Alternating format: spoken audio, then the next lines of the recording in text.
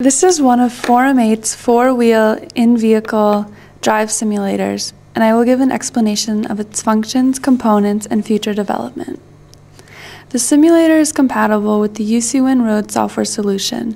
This means that various driving environments can be created with virtual reality software, and these scenarios can then be tested out under the controlled environment of the simulator. Recently, these drive simulators have been used for research on intelligent transportation systems, road alignment and safety, as well as traffic analysis. Once you've created a 3D virtual landscape in UC Road, you can input this into the simulator and gain a driver's perspective as you travel through the space. Various driving situations can be easily changed by selecting visual options. For example, you can drive in the snow or rain, night or day. Customized scenarios and numerical analysis can also be provided. Now we will take a look at the system's components. Here we see the LC monitor, the steering wheel, the ignition and key, the accelerator, brake, and clutch pedals, the function buttons on the left, the seat and seat vibrator, and the safety belt. Now we will try to drive with the simulator. First we're putting on our seat belt, and we're going to use the buttons here on our yellow buttons on our left to get to the menu. By pushing the two farthest most left buttons, you can choose between menu options, and you can use the center button to finalize your selection. This time, we will choose the right button to select story mode, and it will bring up a particular scenario. Now we can drive.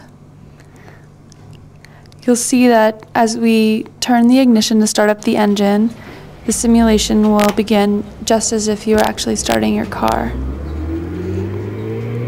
Here these meters will show your speed and RPM. And now I'll talk a little bit about the UC Road Drive Simulator setup.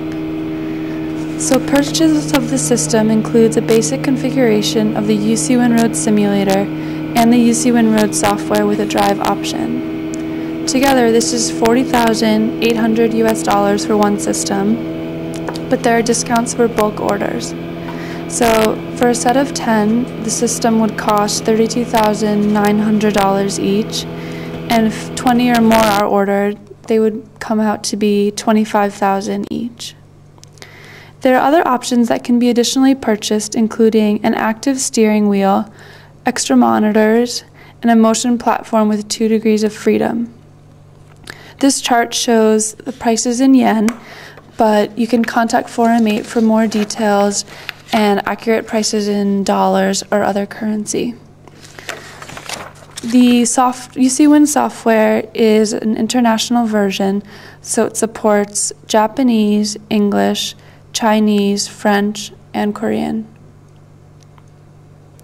We can also create customized versions of SDKs for specific needs. There's been a lot of co development with universities and research institutions that want to customize their version of the software. For example, some customized versions in the past have included special effects for collision impacts and the ability to measure the distance between vehicles.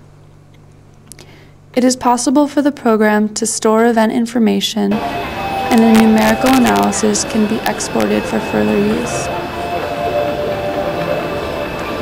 The simulators have been effective for presenting road and driving information to the public as well as for driving instruction. In one recent customized version in Japan, the simulator is available for public use at a highway rest stop in order to help people share their opinions about the road safety. So in this way, the simulator acts as a visual tool that enables the public to be directly involved in the road's redesign and construction. 8 also provides data creation services and construct, can construct the virtual reality environment for your simulator. Our upcoming product, VR Studio, will have enhanced visual effects and will provide higher quality simulation. There will be greater space for terrain input, a reduction in VR creation time, improved traffic simulation. For example, traffic generation will be organized into sources and sinks that are organized by lane, as well as improved driving parameters and simulation of driving behavior.